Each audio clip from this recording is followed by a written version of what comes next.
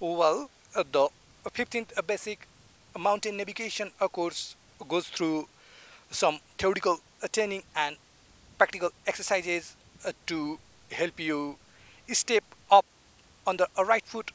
on your navigation journey. Actually, the course uh, covers essential topics uh, such as uh,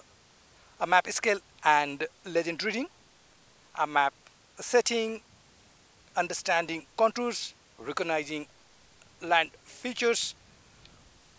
measuring map distance, using a compass, standing point on the map, etc.